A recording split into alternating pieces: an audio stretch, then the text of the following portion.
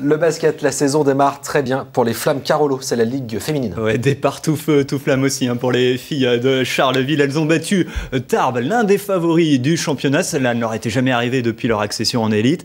Mais ce qui est le plus incroyable, c'est le score 75 à 48, 27 points d'écart. Voilà qui lance idéalement cette nouvelle saison au plus haut niveau. Une saison qui a bien sûr commencé sur le parquet du stade Coubertin à Paris. Les images sont signées François Dérault. Les photos du début de saison à Paris, les filles de Charleville en ont désormais l'habitude.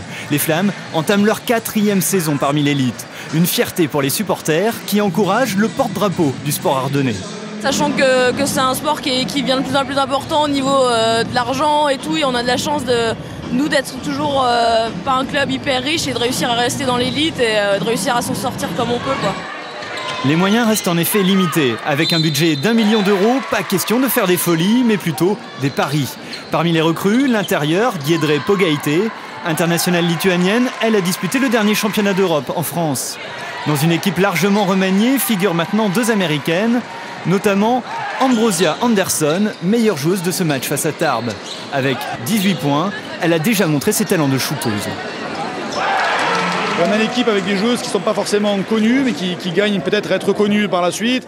Des joueuses qui étaient déjà dans le championnat de France, mais qui, euh, voilà, qui sont un peu revanchardes parce qu'elles n'étaient pas satisfaites de tout ce qu'elles avaient dans les clubs dans lesquels elles étaient. Les cylindrés qui étaient peut-être plus calibrés que les nôtres et euh, forcément la donne n'est pas la même. Et aujourd'hui, voilà, ces gens-là, on essaie de les responsabiliser. Elles mettent cœur à ouvrage et euh, c'est ce que j'attends d'elles. voilà, de la simplicité, de, l'humilité, mais, mais, chercher les choses dans l'efficacité. quoi.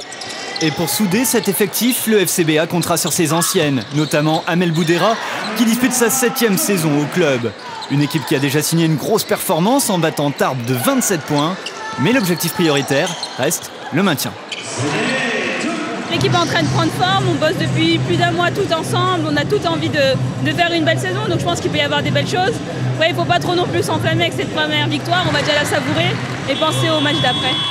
Samedi prochain, les Flammes iront à Nantes. Leur retrouvaille avec la salle Bayard attendront le 18 octobre et la réception de Mondeville.